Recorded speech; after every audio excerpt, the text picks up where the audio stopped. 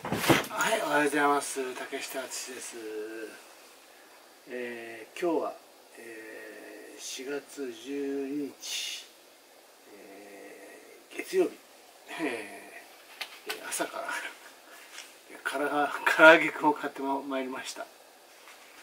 えーちょっと若干二日酔いですいません。はい。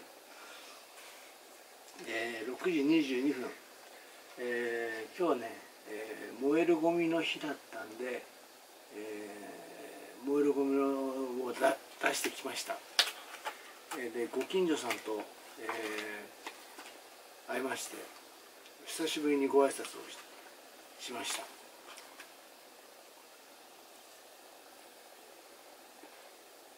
なんかねここのところ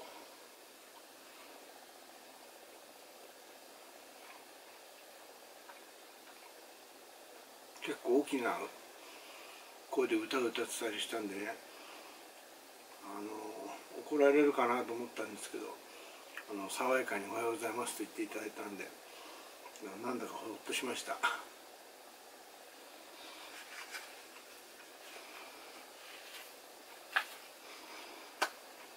いやそんなわけで、えー月曜日、えー週の初めですね。